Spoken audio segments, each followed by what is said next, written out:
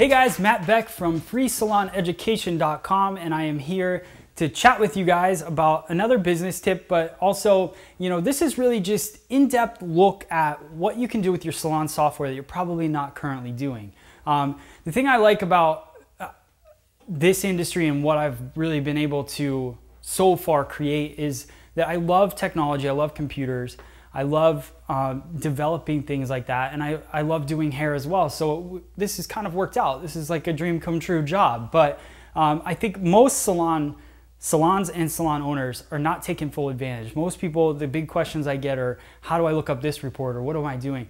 Because most people just don't take full advantage of their software. So I want to tell you about some things that I do.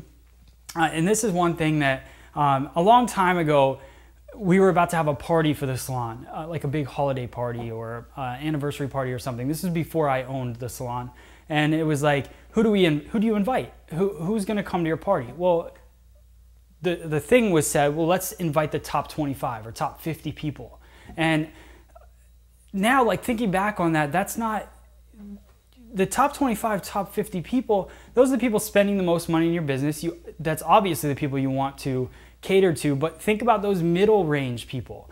Maybe not the people that come in once a year, but the people that are pretty loyal to your book. But those are the people that you need to inspire to come in more often that are actually going to transform your business. The people that are already your top spenders are the ones that are maxing out their frequency of visit, their rebooking, all that is already maxed out. We got to figure out how to get that mid range uh, group of our salon guests to jump on board with the top spenders. How do we do that? So let's look at when you pull up a report, uh, the one for revenue analysis is the MA235 report.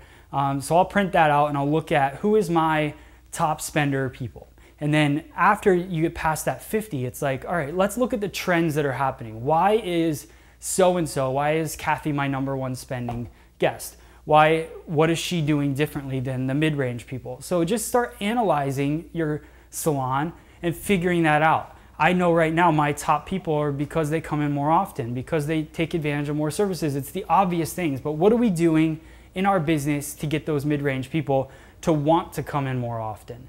to want to reschedule before they leave and and you know kind of work it that way so just next time you have a, a, party or anything or you're just looking to send out thank you letters think about those people in the mid-range because they're the ones that are you know also pushing your business and, and growing your business. And i think we need to figure out how to cater to them to get them to be you know spenders as well. So i hope that this tip helped you. If you guys have any tips please leave them below. Uh, we're looking to grow together. That's what this is all about. Uh, my name is Matt Beck from freesaloneducation.com. Make sure you subscribe to us on YouTube, follow us on Facebook at freesaloneducation.com, and we will keep this going and keep growing together.